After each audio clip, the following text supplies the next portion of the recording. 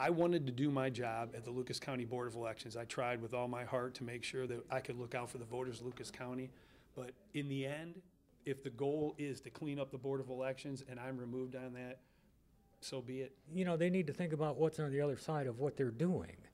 Um, uh, I have, again, I have no, the things I think about in terms of resigning is, is getting another job.